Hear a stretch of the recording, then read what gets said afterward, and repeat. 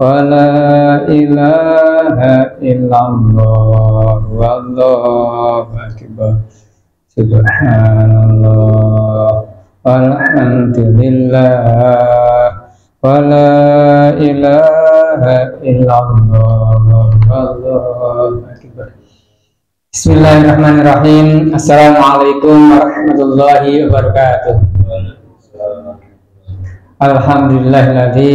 An'ama alaina bi ni'matil iman wal islam.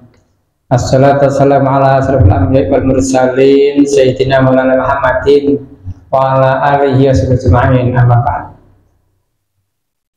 Hadratul muhtaramin, para alim, para kiai, para ustadz, para santri, sesepuh dan sepuh hormati, bapak-bapak, takmir, musola, anur, yang saya hormati pula, Ibu-ibu, bapak-bapak, hadirin hadirat. Mari kita lanjutkan kajian sore hari ini. Yang kemarin ada Jumat baru sedikit kita lanjutkan bagian berikutnya. Masih tetap dalam adab Jumat. Kita awali dengan membaca umul kitab semoga Allah memberikan keberkahan ridho dan rahmatnya bagi kita semuanya. Ridho ilahi ta'ala الفاتحة. أعوذ بالله من الشيطان الرجيم. بسم الله الرحمن الرحيم. الحمد لله رب العالمين. الرحمن الرحيم. مالك يوم الدين. إياك نعبد وإياك نستعين. اهدنا الصراط المستقيم. صراط الذين أنعمت عليهم غير المغضوب عليهم ولا الضالين. رب اغفر لي. آمين. Adab Jumat yang kemarin kita bahas baru sampai pada uh, sabda Nabi SAW tentang keberangkatan ke masjid. Siapa yang pergi ke masjid untuk melakukan sholat Jumat? Man roha ilal Jumati awalan al ula kaan nama koribun wahidan minal ibil siapa yang berangkat sholat Jumat eh, pergi ke masjid pertama seakan-akan ia telah berkorban unta. Waman roha bisa ya bahkan nama koribun bakoroh dan siapa yang pergi pada waktu yang kedua orang kedua seakan-akan ia berkorban sapi betina. Waman roha ila jemaah asalis asalisun fakar nama kodipun kibasan. Siapa yang datangnya ke masjid pada Jumat? Yang ketiga seakan-akan ia berkorban kambing kibas. Jadi pahalanya seperti itu. Waman rohal Jumat Arabiah Arabi fakar nama kodipun dujajah siapa yang berani yang keempatnya seakan-akan dia berkorban ayam. Nah, jadi menyebutkan itu Rasulullah seakan-akan berkorban ayam. Rasulullah. Masuk korban ke ayam ya? Waman roha khamis nama kurabun bedo siapa yang pergi di waktu yang kelima yang kelima dia seakan-akan korban telur. Jika imam sudah naik ke mimbar maka lembaran-lembaran catatan peserta Jumatan itu ditutup, dilipat, pena diangkat, sementara para malaikat berkumpul di sekitar mimbar untuk mendengarkan khotbah, mengikuti khotib berkhotbah. Jadi malaikat sudah dari pagi datang ke masjid mencatat siapa yang datang ke masjid. Oh ya datang duluan Pak Rudi tulis Rudi. Oh yang kedua Pak Arif tulis Pak Arif. Yang, yang kedua Pak Susilo tulis. Begitu sudah saatnya khotib naik ke mimbar ke podium maka malaikat sudah mulai menutup bukunya mengangkat penanya malaikat sudah tidak mencatat lagi peserta berikutnya karena sudah mulai naik ke podium, naik ke mimbar. Jadi seperti yang kemarin saya sampaikan, kalau berangkat Jumatan kok waktu sudah ikomat, ya sudah tidak kecatat lagi lah. Sudah ketinggalan dua khotbah, khotbah satu ketinggalan, khotbah dua ketinggalan, khotbah banyak terjadi seperti sudah banyak. Ini mungkin bisa sendiri. kalau saya jumatan di sekitar situ sekitar sekolah itu juga ada yang sebelah selatan sekolah itu rata-rata datangnya setelah ikomat baru datang mungkin karena pekerjaannya membolehkan istirahat setelah jarum panjangnya di jam 12 persis mungkin. Jam 12 baru beristirahat sehingga baru bisa keluar. Mungkin karena itu sehingga datangnya pas komat. Dan sering kali, sering kali seperti itu. Namun kalau bukan karena itu ya sebaiknya berusaha untuk bisa datang sebelum khotbah dimulai sebelum khotbah naik ke mimbar sehingga masuk dalam catatan malaikat. Tapi hormati wa inan nasa fi qaribihim indan nadhara ila wajhillahi ta'ala ala qadari bi ila jum'ah. Disebutkan bahwa kedekatan manusia dalam pandangan Allah taala tergantung pada cepatnya manusia itu berangkat Jumatan. diukur kan cepatnya manusia itu berangkat Jumatan menjadi tolak ukur dekatnya manusia itu dengan Allah taala. Karena dia cepat-cepat datang ke Jumat. Anan nasa sekinya manusia fi qaribihim indan nadhari ila ila Allah qadari bikawarihim jadi tergantung pada cepatnya mereka menuju sholat Jumat. Kemudian apabila kita sudah berada di masjid misalkan yang pertama dengan masjid ya berusaha untuk berada di soft pertama sehingga orang berikutnya tidak melangkah-melangkahi kita nggak terhalang oleh kita. Kalau nggak mau soft pertama takut di soft pertama ya sebelakang kedua ketiga tapi yang mepet tembok kanan mepet tembok kiri sehingga tidak merepotkan orang yang datang belakangan terhalang oleh kita. Berusaha untuk sop pertama kenapa datang pertama? Kok tidak di sop pertama malah sop belakang? Nah, datang pertama berusaha untuk bisa berada di sop pertama. Jika sudah banyak masa berkerumun datang di masjid kita termasuk yang terlambat?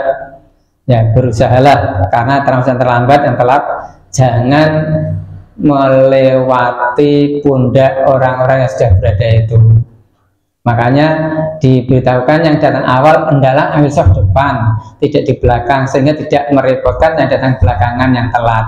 Harus melewati pundak kanan kirinya orang yang duduk di sekitar itu karena banyak orang yang tidak mengenal ilmu ini datang awal dan duduk di belakang. Datang kedua duduk di soft belakang lagi. Yang depan nggak berani nggak mau belakang yang depan. Malah depan diisi oleh anak-anak yang belum balik. Sehingga saya setuju dengan masjid yang memasang tulisan di atas itu masjid soft pertama hanya untuk orang dewasa. Itu saya setuju gitu. Sehingga orang dewasa dari awal itu bisa mau mau ke soft depan, tidak diisi anak-anak sebagaimana yang sering kita jumpai. Ada beberapa masjid yang saya lihat di sekitar kita ini yang ditulisi di tembok atas tempel tulisan soft depan hanya untuk orang dewasa. Memang aturan susunan soft kan paling depan orang dewasa, belakangnya remaja, belakangnya lagi anak-anak, baru belakangnya lagi nanti terakhir wanita remaja, anak-anak. Soft wanita paling bagus paling belakang soft wanita. Wanita yang bagus soft paling belakang. Tidak yang depan laki-laki yang bagus soft depan, wanita yang bagus soft belakang. Tidak sejajar. Memang eh, benar yang disampaikan Ustadz Yaya Utamakin itu saya lihat sendiri di sekitar kita ini banyak sekali musola masjid yang tidak tepat dalam menyusun soft sehingga laki-laki dan perempuan sejajar karena di belah tengah sebelah untuk putri sebelah untuk putra begitu. Sehingga putra dan sejajar nah, tidak sesuai dengan urutan pengaturan soft bacaan sholat. Baik seperti itu terjadi di masjid musola sekitar kita. Ada yang merubahnya. Nah, setelah mendengar itu dirubah ada dirubah sehingga soft putri di belakang soft putra yang depan. Jadi eh, pernah saya sampaikan pula eh, di tempat lain karena saya mengalami saya mengalami soft di belakang imam itu anak-anak. Belakang anak-anak yang agak jauh dewasa tapi tidak paham tentang jamaah dan merasa dirinya kurang fasih yang agak bagus bacaannya jauh dari imam. Begitu imam sebelum selesai sholat imamnya akan menyatakan batal.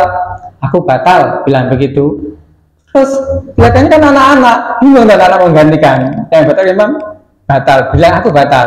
Sementara saya di belakang. Termasuk telat saya soal ketiga. Malah mungkin saya jadi menggantikan imam nggak mungkin. Nah yang setelah anak-anak sampai kena dewasa tapi yang tidak paham tentang jamaah. Bingung nunggu lama. Beberapa saat kemudian baru ada dewasa yang berani maju menggantikan imam oleh karena itulah pentingnya kalau bisa yang belakang imam itu yang siap mengganti jika imamnya batal begitu. Tidak anak-anak. Maka sering kali kalau saya yang jadi imam anak di belakang saya tak usir. Anak belakang ya tak gitu kan anak belakang ya sini kira dewasa tak gitu kan tidak saya terima karena kalau saya batal sudah diganti oleh belakang saya. Tidak anak-anak bingung seperti yang sudah pernah terjadi saya alami sendiri. Bapak saya hormati, saya lanjutkan lagi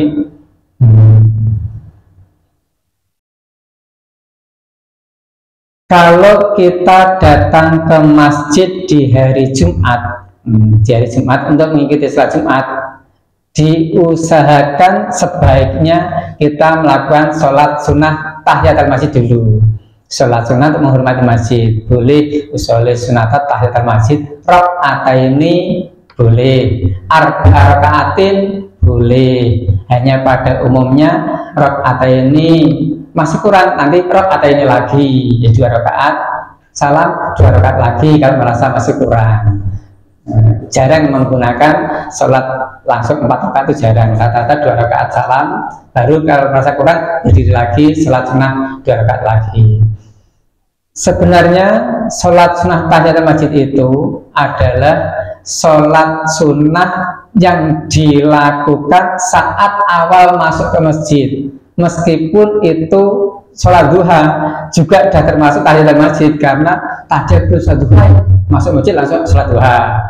Sebelum duduk berarti dia termasuk golongan tahiyat masjid menghormati masjid. Sebelum duduk sudah sholat sunnah dulu. Oh iya aku pengen sholat hajat masuk masjid. Aku pengen sholat taubat pengen sholat istigharah aku pengen sholat nah, mutlak. Dalam masjid masuk langsung sholat. Sholat sunnah itu tidak tergolong sholat tahiyatul masjid. Meskipun tidak berbunyi usolli sunatat tahiyatul masjid. Rakaat ini ta'ala dalam sholat sunnah tahiyatul masjid ini ada sedikit kaidah yang mana eh, jika mampu sholat sunnah ini yang mampu melakukan empat rakaat di antara salah satu rakaatnya dibacakan surah al kafirun atau sampai dibaca surat al-ikhlas setelah fatihah. Setelah fatihah baca surat al-ikhlas 50 kali. Aduh, nggak pernah aku. Sama saya juga nggak pernah. Itu salah satu di antara fadilah sholat tahiyat masjid yang disampaikan di kitab ini dan belum pernah saya lakukan. Mungkin jangan pernah lakukan. Atau malah ada yang berdengar sekarang karena baru mendengar kitab ini. Kalau sholat sunnah tahiyat masjid itu empat rakaat misalkan dua tambah dua salah satunya ada yang dibacakan setelah fatihah al-ikhlas 50 kali. Ada pun rakaat berikutnya boleh dengan surat yang lain. Yang lain. Ada disunahkan pula baca surat al-an'am al-kahfi dibaca pula surat Yasin Ad-Dukhan. Nah itu kan surat-surat yang kita tidak bisa memilihnya yang kita karena karena tidak hafal tidak hafal. Mungkin jadi tidak hanya tidak seluruh surat tapi cuplikan cuplikan kutipan ayat itu beberapa ayat saja yang depan atau yang akhir begitu. Boleh juga surat sajadah surat al-mulk. Namun kalau sekiranya kita tidak bisa menggunakan itu surat-surat pilihan tadi dalam surat tahiyatul masjid ya dibacalah di malam Jumat pilih surat-surat itu atau semuanya. Ada yang suka Al-Kahfi dibaca tiap malam Jumat. Ada yang suka Al-Mulk Tabarakalladzi Bidil Mulk dibaca tiap malam Jumat. Ada yang milihnya Yasin dibaca Jumat.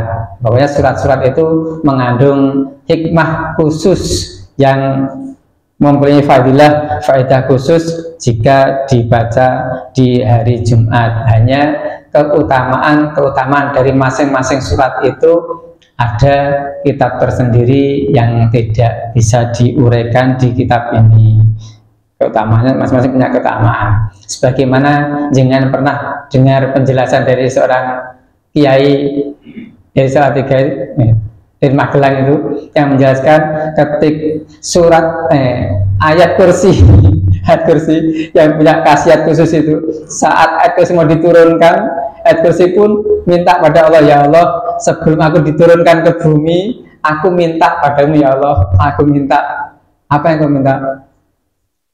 Ayat kursi bilang kalau aku diturunkan ke bumi nanti aku minta orang yang membacaku yang membaca aku maka ayat kursi kabulkan hajatnya ya Allah.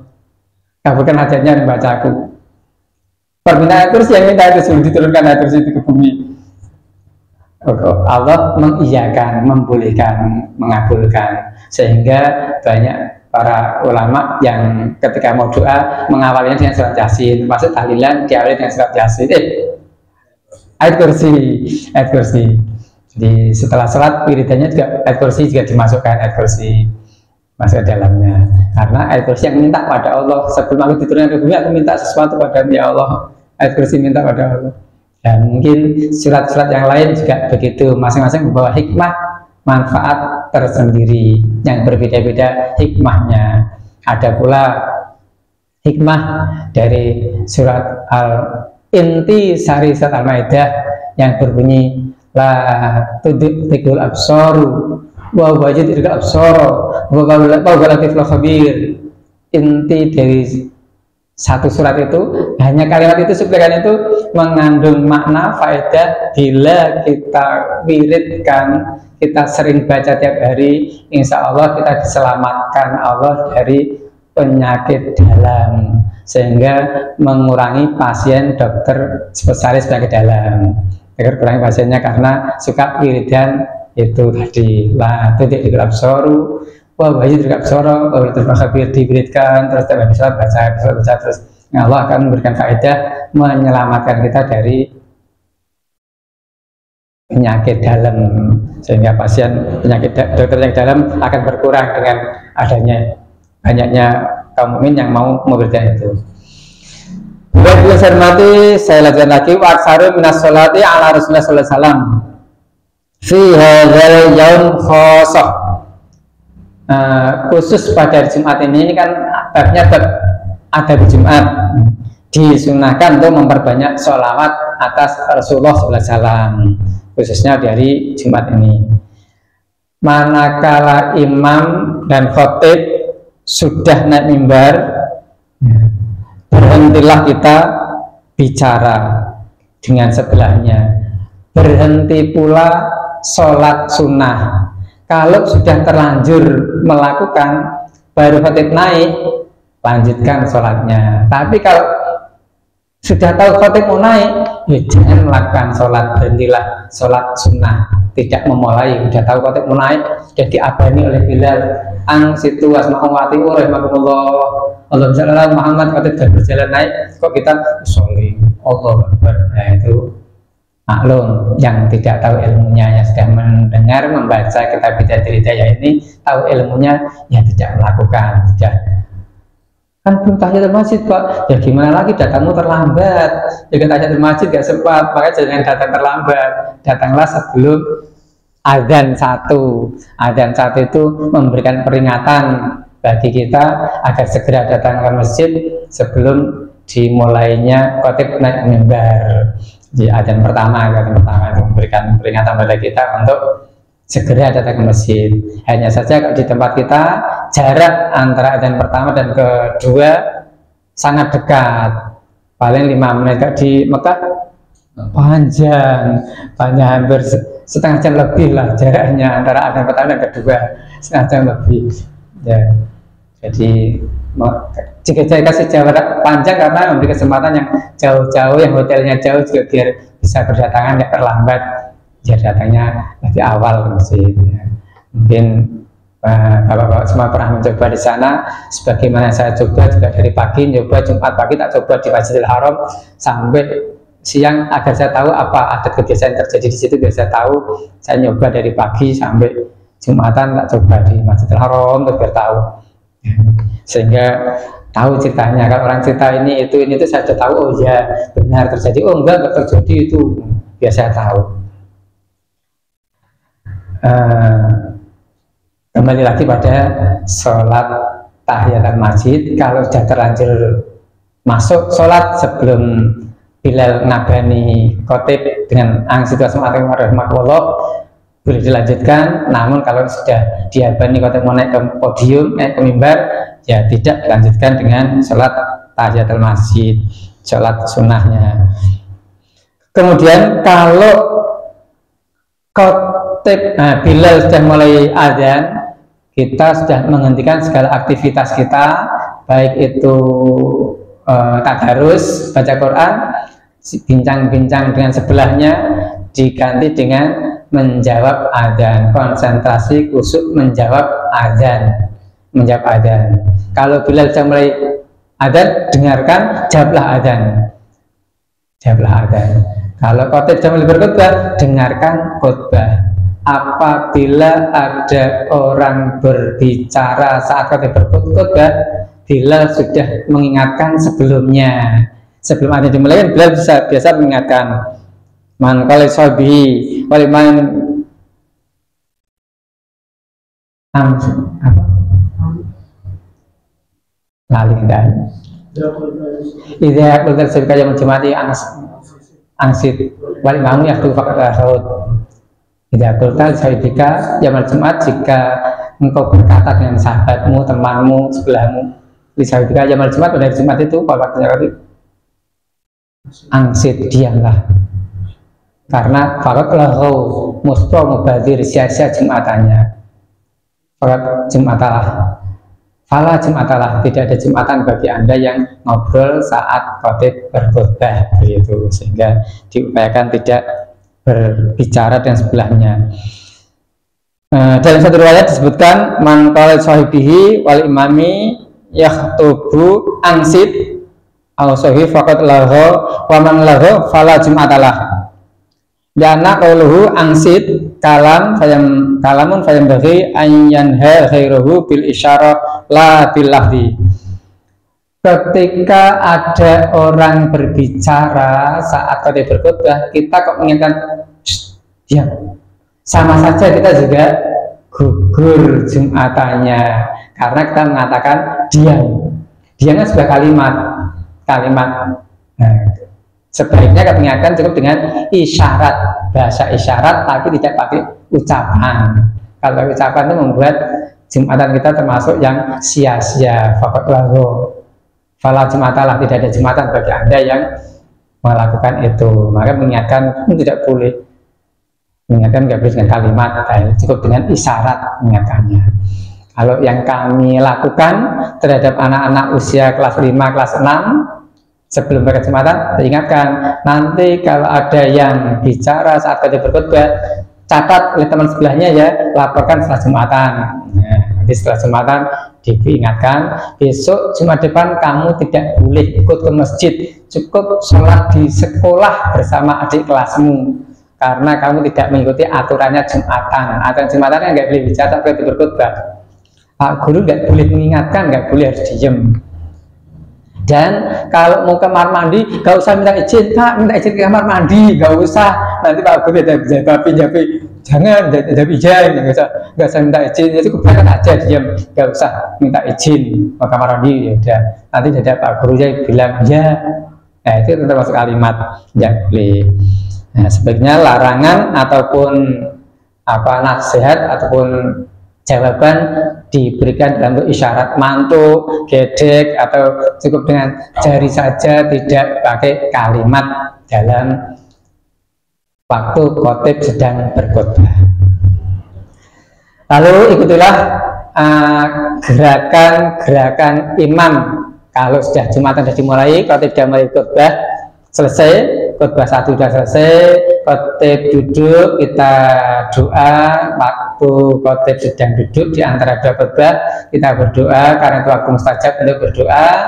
Selesai khutbah Sholat Jumat dimulai kita ikuti sholat Jumat sampai selesai sampai salam sampai salam.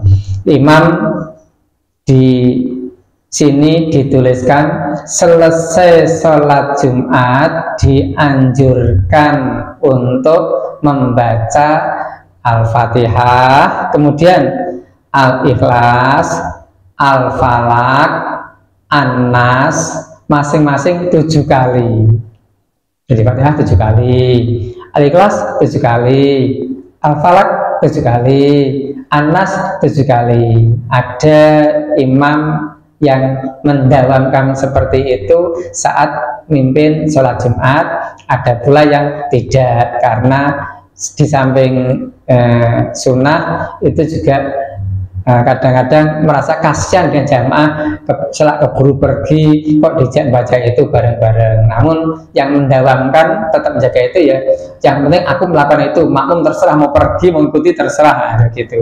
Yang penting melakukan itu. Ada makmum mau pergi mau meninggalkan terserah. Aku karena mengikuti sunnah rasul aku baca ini. Fatihah al-ikhlas al-falak anas masing-masing tujuh kali. Itu akan hikmahnya akan melindungi kita dari Jumat ini sampai Jumat berikutnya lagi. Juga akan menjaga kita dari gangguan setan selama sepekan Jumat sampai Jumat berikutnya. Mulai Jumat besok yang mau mengamalkan monggo. Kalau mau pengen eh, mengamalkan setelah sematan baca sendiri. Imamnya enggak ya. Udah baca sendiri aja. Imamnya biar karena yang ngajak ya udah baca sendiri saja. Baca sendiri al baca sendiri tujuh kali kalau pengen. Kalau enggak ya monggo gak apa-apa. Bapak hormati di sini ada dituliskan doa Allahumma ya Ghani ya Hamid ya Mubdi'u ya Mu'aid ya Rahim ya Wadud. Akhir ini bahalikan haramik Bi fadlika an ma'asyatik.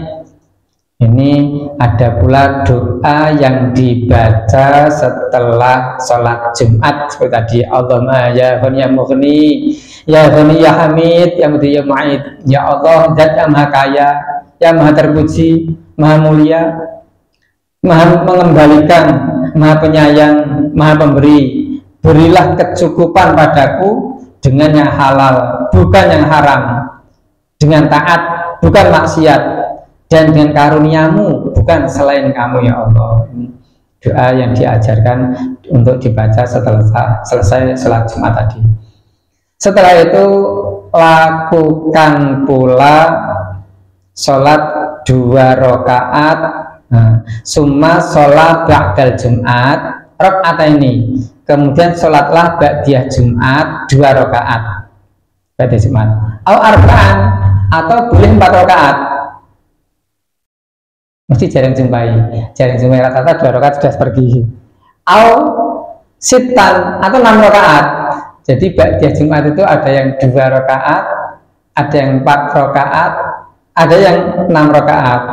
Tapi masna, masna, masing kan dua rakaat, salam, dua rakaat, salam.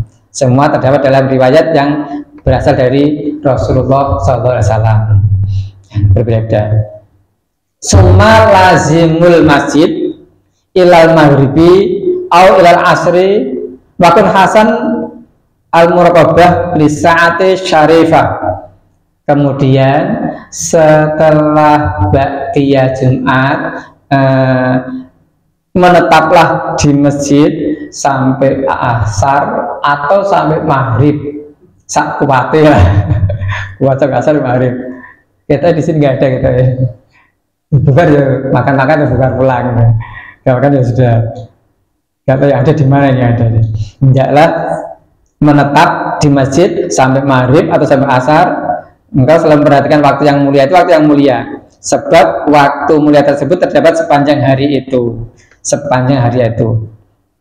Tapi tidak ditentukan secara pasti. Mudah-mudahan kita memperoleh ketika sedang berada dalam masjid kondisi khusyuk tunduk pada Allah kita mampu fi jami'il yaum seharian itu di masjid terus. Sama di masjid. Jangan sampai Jangan sampai saat di masjid itu kita justru bergabung pada orang yang ceritanya ngalor ngidul nggak karuan arah gabung sana ngobrol apa ya? Nggak bisa nah, tidak sih itu. Sama di masjid tidak mendekati cerita cerita yang tidak tentu arahnya. Tapi berusaha kalau bisa menghampiri majelis ilmu yang ada di situ majelis ilmu itu kalau di masjid masjid di daerah kita ini jangan kita jumpai kalau di Nagawi kan sok kita jumpai. Oh yang di pintu sana itu yang Indonesia. Yang pintu sana. Melayu yang pintu sana. Jadi pintu sana yang Inggris. Yang pintu sana yang Turki. Jadi mengetahui setelah sholat cari di pintu mana ya jamaah. Majelis ilmu itu digelar. Masing-masing nah, ada bahasanya yang berbeda-beda. Bahasa Kurdi. Yang Kurdi sana pakai bahasa Kurdi. Yang pakai bahasa Melayu di sana pakai bahasa Inggris di sana jadi kita dalam majelis ilmu. Yang bermanfaat. Majelis ilmu itulah yang bisa membuat kita lebih taat pada Allah dan membuat rasa mahabbah kita pada dunia ini berkurang lebih meningkat cinta pada Allah dan menurunnya cinta pada dunia ini. Kalau majelis itu bisa mampu membuat kita lebih taat pada Allah mampu membuat kita lebih cinta akhirat daripada dunia berarti itulah majelis yang bermanfaat bagi kita. Namun kalau tidak mampu berarti bagi kita nggak bermanfaat. Namun bermanfaat bagi yang lain bagi orang lain atau bagi yang membuat majelis itu. Bagi kita nggak manfaat karena kita tidak mampu merubah cinta kita pada Allah pada akhirat lebih tinggi daripada cinta kita pada dunia ini. Nah, ini termasuk ilmu tasawuf yang mengajarkan seperti ini. Kalau ilmu tersebut yang kita pelajari kok tidak mengantarkan hati kita lebih taat, lebih takwa, lebih dekat pada Allah, lebih cinta pada akhirat, ya bahasa kita ini disampaikan tidak usah belajar ilmu tersebut. Nah, begitu yang disampaikan oleh ilmu tasawuf yang ditulis di ini. Berlindunglah pada Allah dari ilmu yang tidak bermanfaat itu. Ya Allah, inna na'udzubika min ilmin la yang fa ya Allah kami berlindung padamu ya Allah dari ilmu yang tidak bermanfaat yang bermanfaat adalah yang mengantarkan hati kita lebih dekat pada Allah lebih takut pada Allah lebih cinta pada akhirat lebih cinta pada Allah daripada isi dunia ini. Wa doa inda tulu'i syamsi wa inda zawali wa inda gurubi wa inda akomati ikomati. Di hari Jumat ini perbanyaklah doa ketika matahari terbit indatul syamsi. Ketika matahari terbit di hari Jumat pagi perbanyaklah doa. Wa anda zawalil lang ketika matahari tergelincir tergelincir itu mulai dari matahari lurus di atas kepala sampai tergelincir geser menuju waktu duhur wa indal hurubi. Dan ketika matahari terbenam matahari terbit berbanyak doa. Matahari sedang di atas kepala menjelang duhur banyak doa. Matahari terbenam banyak doa. Wa'inda iqamah. Dan ketika khotib naik mimbar atau orang sudah mulai berdiri untuk menaikkan sholat Jumat bareng-bareng nah waktu itulah waktu yang sangat bagus untuk berdoa berbanyak doa berusaha untuk dia Jumat memperbanyak sedekah semampunya. Oh, aku mampunya sedekah 2000 ya 2000. Aku mampunya sedekah 100 ribu ya 100 ribu. Aku cuma mampu satu juta ya satu juta semampunya sedekah semampunya. Aku cuma mampu sedekah tenaga ya sedekah tenaga noto sandal yang ngarep masjid. Sing balik ke masjid itu mudah. Itu teman saya yang yang di durian itu kan teman saya pagi kerja sama dengan saya kerjanya. Tapi kan wajib jumatan suka nata masjid di sandal nata sandal di masjid. Terus sandal orang datang dilihat nanti sudah naik ditata sandalnya dilakukan menghadap ke sana. Orang datang lebih enak menghadap ke ke masjidnya. Nanti itu dibalik oleh orang itu agar nanti pak pulang gampang makainya ditata oleh orang itu. Ada yang begitu itu. Namanya pak Komar ya sudah mendekati. Dan perbanyaklah dikir waj'al hadzal yaum minas minal usbu khosoh li akhiratika nah, jadikanlah hari tersebut sebagai waktu khusus yang diperuntukkan bagi akhirat kita. Barangkali ini menjadi penebus dosa bagi kita di hari-hari lain dalam sepekan ini fa'asahu fa'asahu ayakunu kafaroh. Libaqiyatil usbu' boleh jadi eh, amal amal solih yang kita utamakan di Jumat ini menjadi penebus dosa-dosa kita selama sepekan atau tujuh hari. Di sini bahasanya usbu' usbu' itu tujuh hari. Kalau kita sepekan tujuh hari usbu' kiranya itu yang kita baca di hari ini waktu sudah mendekati iftar. Hari kita akhiri dengan doa penutup masjid bersama-sama. Bismillahirrahmanirrahim. Subhanakallahumma wa bihamdika asyhadu an la ilaha anta astaghfiruka wa atubu ilaik. Assalamualaikum warahmatullahi wabarakatuh